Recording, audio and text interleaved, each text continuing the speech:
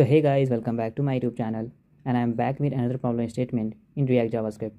So here you can see we have a problem statement which is we have to build a traffic light in React.js and React hooks where the lights switch off from green to yellow to red after a predetermined intervals.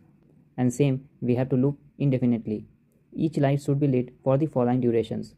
So red light will be for 4000 milliseconds, same the yellow light will be 500 milliseconds and the green light will be 3000 milliseconds so we have to implement the logic using react hooks. So if you're new to my channel make sure that you like and subscribe my channel so that you don't miss the awesome videos. So this problem statement will be tricky. So no worries we will proceed further.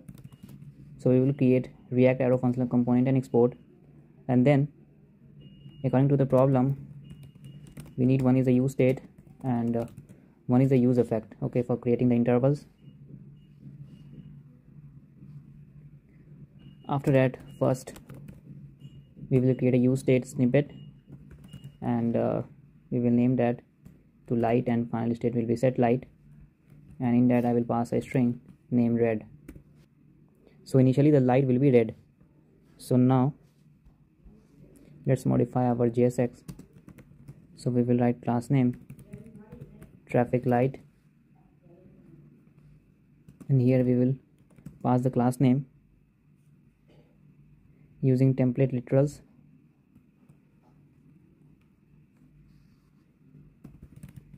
We will pass light and we'll pass red.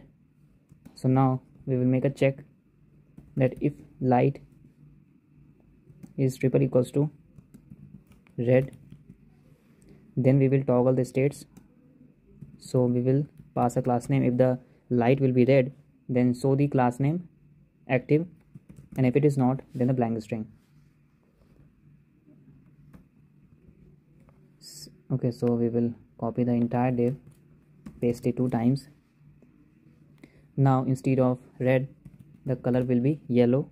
For the third one we have the color the green. So same we will change this to yellow. And the last one will be green. Okay so now uh, let's create the logic so we will create one use effect. And inside use effect we will create one timer. Const timer will be set timeout. And inside set timeout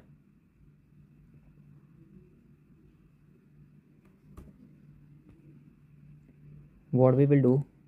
We will create one switch statement and inside we will pass this light. So now the case will be red first of all the case will be red so according to the state we will update the set light to green. Then we will implement one set timeout again. And inside set timeout we will update the set light to yellow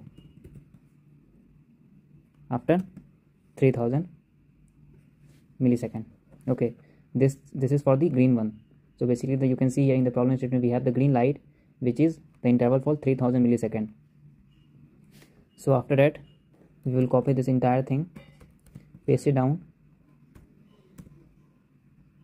We will remove the set timeout from this block and uh, now I will write case will be yellow.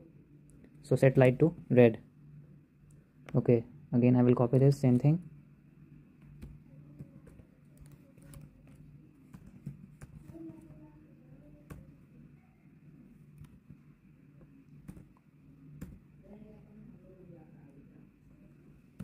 Again the case will be green and at last it will be yellow. Okay in the default statement it will be break. So after that in the interval part of the set timeout basically so what we will do we will pass one function which will be get duration and we will pass the light. Okay? And uh, we have to return also for the memory cleanup. So we will return the memory cleanup and we will pass clear timeout. And inside we will pass this timer. Okay? So it will avoid memory leak. After that in the dependency array of use effect we will pass the light then at last we will define the get duration. So we will write const get duration arrow function of javascript and it will accept an argument which is of current light because we have passed the light state.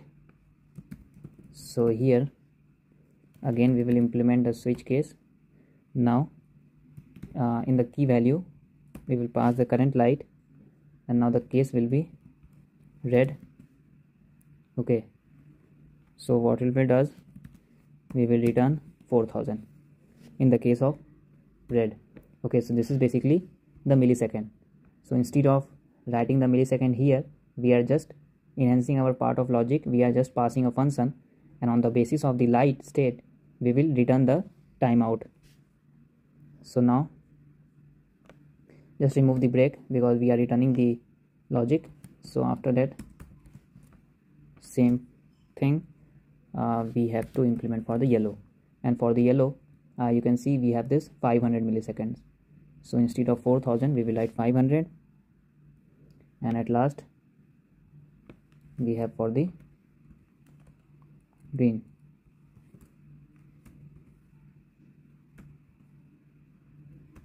So for the green one we have the 3000 so instead of 500 we will write 3000 and in the default we will return 0 so one slightly modification we have to do it is for the green. So after saving this file we will just navigate to our server which is localhost slash challenge 45 so you can see uh, we have this white border which shows the active part. So uh, after the red we have the green and then yellow and then red again. So the red will be hold for 4000 millisecond green will be hold for 3000 millisecond and the yellow will be hold for 500 millisecond and it will goes on. So that is something uh, we have the logic and uh, you can just go through this part of code and try to play with this logic we have. Okay try adding some more functionalities. So this is it.